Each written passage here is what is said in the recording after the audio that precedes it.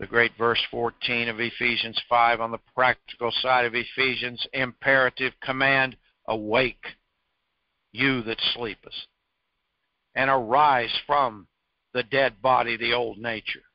And Christ, He's going to fulfill His part of the bargain. If you and I do ours, shall give thee light. Christ shall. Shall is in the absolute tense. Christ shall give thee light.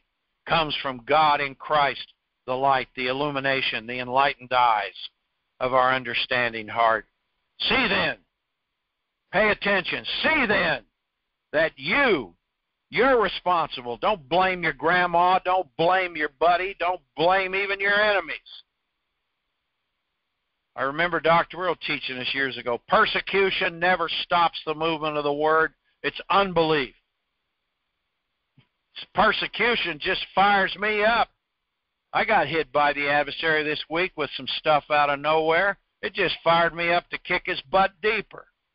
Understand more deeply from a discerning spirit's point of view how he orchestrated and fomented these attacks on my physical body and how to kick his bow hunkus all over the block even better. Persecution never stops a true believing man or woman, just fires you up. See then that you walk precisely, exactly. Boy, I can't think of another adjective, or I'd be throwing it at you. You know that. Circumspectly, precisely, exactly, rightly divided. There's one not as fools. Well, what does that tell me? That tells me if I do not walk precisely, if I just walk around with sort of this vague notion that there's a God, and, and I'm so proud of myself that I'll acknowledge that, yeah, there's probably a God. And maybe when I've tried everything else, I'll finally pray about it, and I think I'm so spiritual. What a bunch of arrogance. No, you're a fool.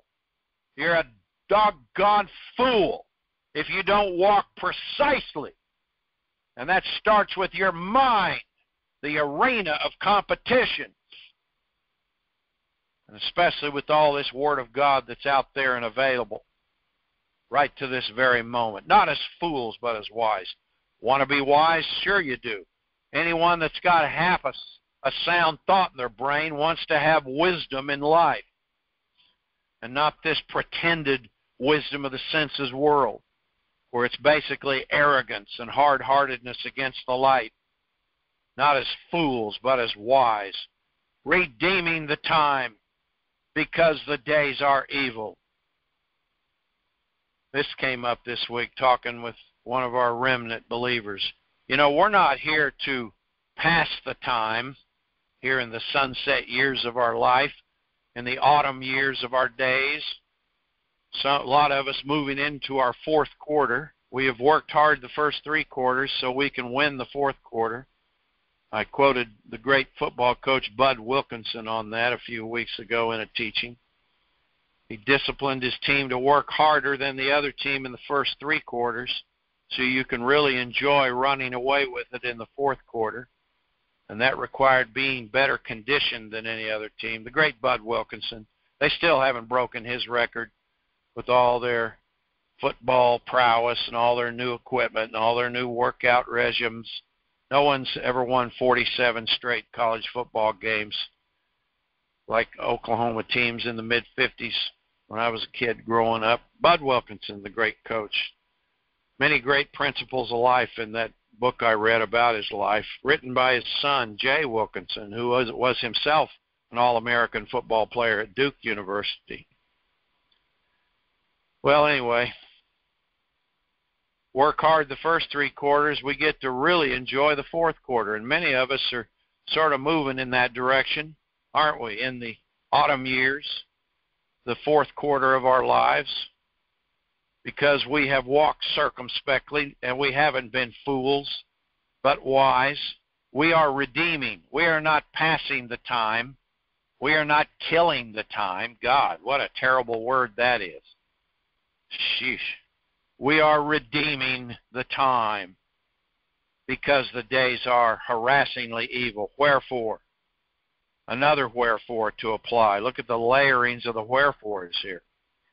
Be ye not unwise, but in contrast, understanding. And that's our word, sunesis, a confluence where elements come together for us, what the passionate will of the Lord is.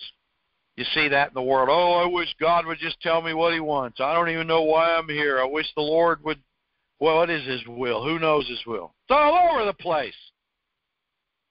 You got a big, thick book of His will if you had a half a brain and knew how to work it. His will's all over the place. This is a command. I am to understand the passionate will of God. So there's no excuses. You can wallow and moan and cry and be proud of your mournful nature and be proud of your sadness and be proud of your crestfallen mindset and get everybody's sympathy and attention, or else you can obey. Gird up your loins like a man, like a woman, and obey the revelation. Like in Ephesians, understand what the passionate of the will of the Lord is. If you seek the Lord diligently, he will hear you and deliver you from those apprehensions. Look at Hebrews 11, Hebrews, James, 1st, 2nd Peter, Hebrews 11. What does it say here in verse 6? But without believing, not faith, that's a religious screw up without believing, free will, fully persuaded mindset, without believing, it is impossible to please Him, and that is properly supplied, the word Him. People do everything to want to please God except work His Word, believe His Word, and act on His Word. All these other rituals of behavior, all these other pre programmed, preset, quotable catechismic prayers, cataclysmic prayers, that's not believing. Anything you do mindlessly, Hail Mary, full of grace, Mother of God. Holy cow, you're calling in more devil spirits than a mangy dog has fleas when you call on Hail Hellacious Mary. Because Mary's in the grave, her body's turned to dust, she's awaiting the return. She got born again on the day of Pentecost, she awaits the return. What are you praying to her for, knucklehead? Because you've been taught wrong, or else you're so damn stubborn in your religious habits. Some devil spirit threw you a morsel in life once, 20 years ago, and you're hanging on to that like a beggar on the same street corner. And no one's given you a dime since then. But boy, I got a dime 20 years ago. Mother Mary threw me a morsel 20 years ago, so I'm hanging on to her. See how stupid people get? Hard hearted, arrogant, Come on. Without believing. And that's present tense right now. I might have pleased him five minutes ago, but if I quit believing right now, he's not pleased with me.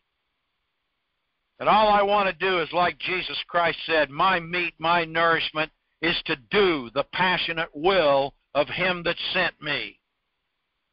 Paul said, I have fought the good fight. I have finished my course. I fulfilled what he called me to do.